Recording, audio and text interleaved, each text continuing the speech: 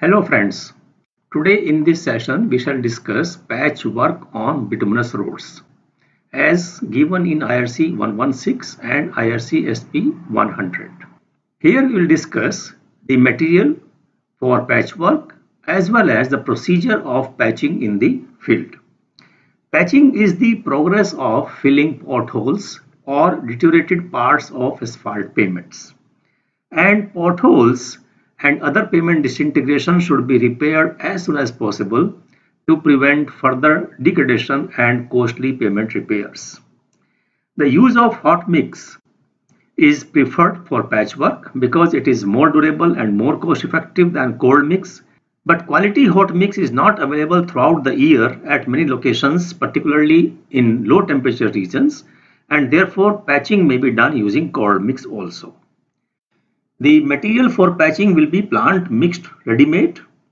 Pothole patching bituminous mixture is composed of mineral aggregate coated with bituminous material. And the bituminous material can be either cut back as suggested in IRC 116 or it can be emulsion as given in IRC SP 100. When cutback is used, IRC 116 suggests use of medium curing cutback MC800 as per IS 217. The emulsion is recommended in IRC SP 100 and the grade of emulsion for patchwork is either medium setting or slow setting grade 2 or it can be even tailor made also. When cutback is used, it should be treated with a proper type and amount of anti-stripping agent to pass through the wet coating test static immersion test and water resistance test. Coarse aggregate for patch material will be having the same properties as we generally take for other types of bituminous mixes. It should be crushed rock, crushed gravel or other hard material retained on 2.36 mm sieve. Should be clean, hard, durable and cubical shape free from dust and soft organic and other deleterious substances. The requirement of coarse aggregate that should be clean and cleanness is measured by passing the aggregate through 75 micron sieve and this should be less than 2%. The particle shape combined flakiness elongation index should be less than 35%.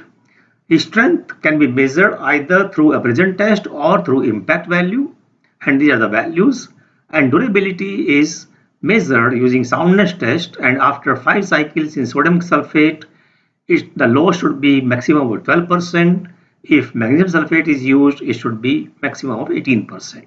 Water absorption should not be more than 2% in any case. If crushed gravel is used not less than 90% by weight of the crushed material retained on 4.75 mm sieve shall have at least two fractured faces. The fine aggregate for patch material mix will be crushed mineral material passing 2.36 mm sieve and retained on 75 micron. It shall be clean, hard, durable and free from dust and soft organic and other deleterious substances. These are normal for any types of bituminous mix but no natural sand shall be permitted here. And when coarse aggregate and fine aggregates are combined together, the grading, final grading of the mixture should be as per this table. Passing 9.5, 100%, 4.75, 40 to 100, 2.36, 10 to 40 and so on. Even RAP material can also be used to prepare patching material by special emulsion formulation and emulsion content of 1.5 to 2.5% by dry, dry weight of RAP are typical for these mixes and their handling is similar to traditional maintenance mixes. But it is always preferred to use aggregate having water absorption less than 1%. The amount of residual binder. Residual binder means total cutback or emulsion minus diluent. In case of MCC that is cutback we use kerosene as the diluent in case of emulsion, we use water. So after removing kerosene or water from the cutback or emulsion, the residual bitumen content should be in the range of 4.5 to 5.5% depending upon the surface characteristics of the aggregate. When water absorption is less than 1%, it can be minimum 4.5%. When it is more than 1.5%, it is 5.5%. That is residual bitumen content. In case of emulsion, the quantity of emulsion will be 7 to 8% by weight of aggregate. If the cutback is to be used, for example, MC800, and let us say that for cutback 80% bitumen is mixed with 20% kerosene, then in that case, if you use 6% cutback, then the residual bitumen will be 4.8%. 80% of 6%, 4.8%. This should be in the range of 4.5 to 5.5% depending upon the gradation and surface characteristics of the aggregate. Next is preparation of the mix. Uh, let us first discuss preparation of the mix with emulsion. Now here emulsion and aggregate mixture can be mixed either in a pug mill or in a concrete mixer and then transported to the site where these are to be used. The heating of the aggregate is normally not necessary. In cold weather conditions, warm aggregates and emulsions heated up to 50 to 85 degrees centigrade can be used for better workability. For preparing the mix, first the aggregate meeting the standard grading requirement is fed into the pug mill or cold mix plant or concrete mixer and then we add 1 to 2 percent water to wet the aggregate. Then this water plus aggregate content is mixed for 1 to 2 minutes. After that we add requisite quantity of emulsion at the rate of 7% by weight of aggregate and it is mixed for 1 minute. And when, when it is brown then it is ready to use. So discharge the material from the mixer and it can be used once it gets brown. When mix is prepared with the cutback MC800, then we can use conventional batch type hot mix plant. If drum plant is used, drying off aggregate with a burner flame and mixing with MC800 should never be done simultaneously because this MC800 contains kerosene and it can catch the fire. Aggregate temperature can be kept 25 to 65 degrees centigrade and binder temperature is in the range of 75 to 95 degrees centigrade.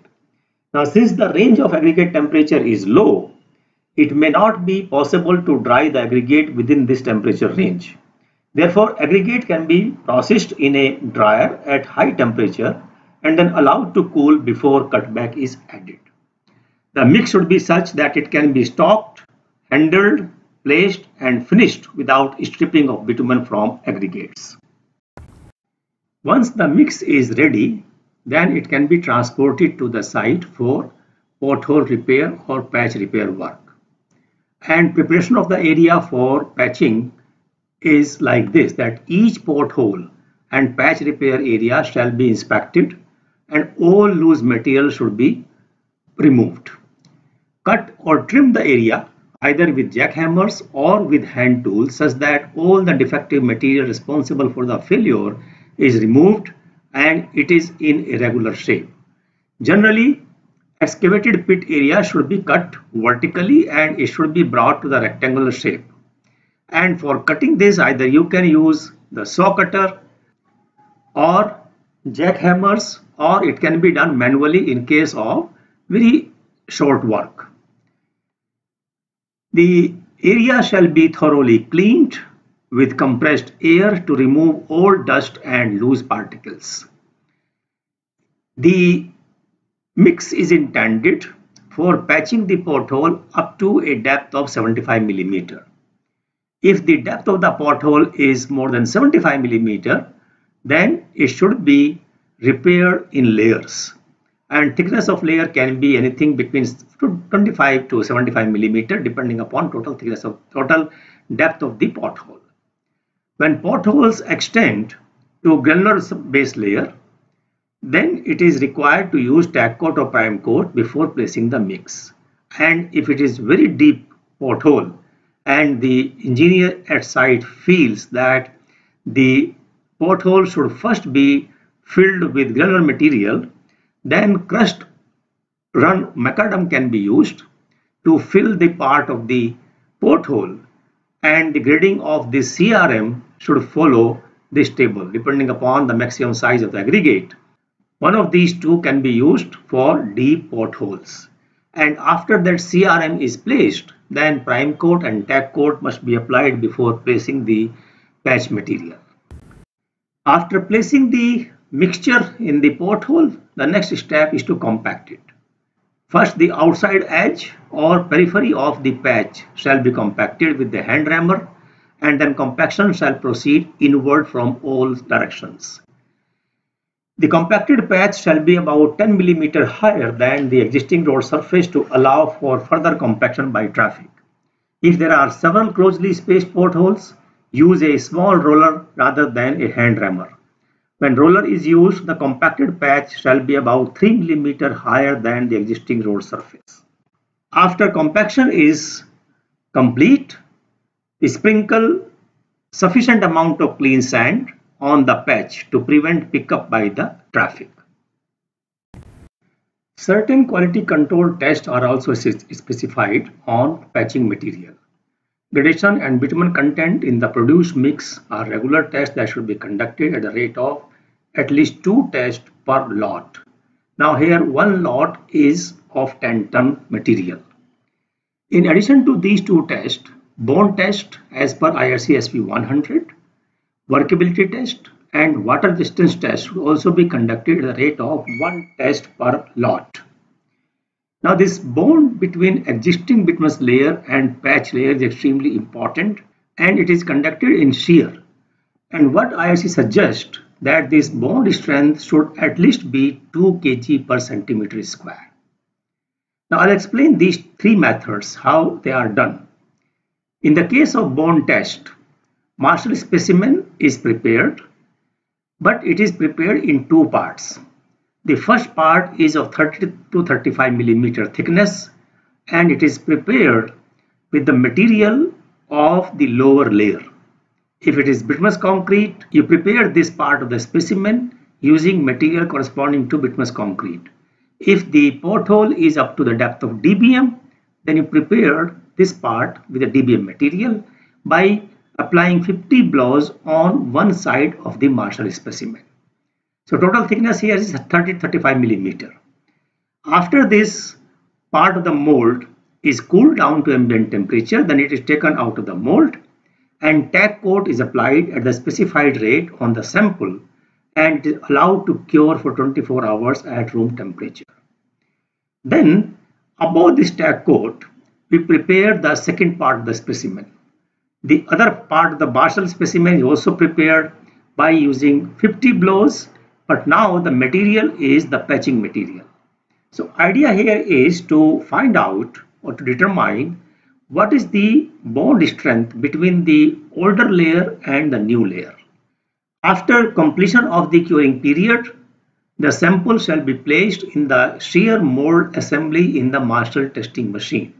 And this is here the shear mold assembly. It is a Marshall machine, but the mold here, testing mold or testing plate is in two parts. The first part which you see in the front is semicircular split plate to fix the upper part of the sample that is 40 millimeter which is prepared by patch mix material. The first part, the second part of the sample, here also you have a semicircular split plate but it only fixes the lower part of the sample and its thickness can be 35 to 40 millimeter or even 60 millimeter also and in between these two is the tack coat. So this part remains fixed and load is applied only in the front part.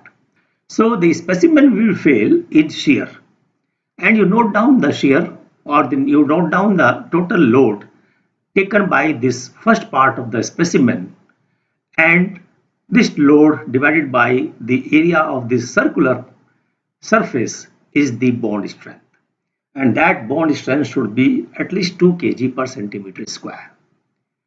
The second is workability test. Simple test that can be done in the laboratory. Approximately 2.5 kg of patching mix material is cooled to minus 7 degree centigrade in freezer.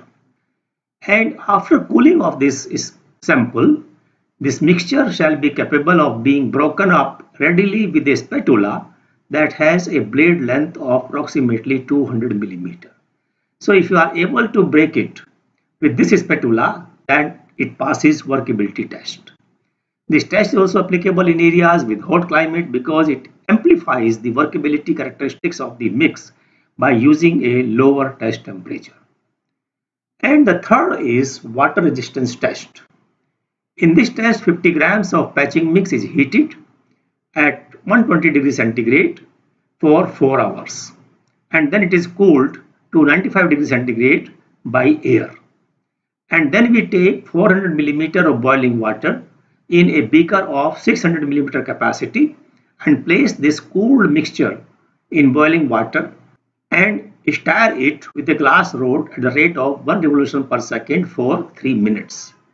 After that, water is removed, that is decanted, and the mix shall be spread on an absorbent paper for visual observation of the coating. Aggregate should at least be 90% coated with bituminous film. That is the water resistance test. So friends, thank you very much for watching this video. If you have any suggestions, write in the comment box.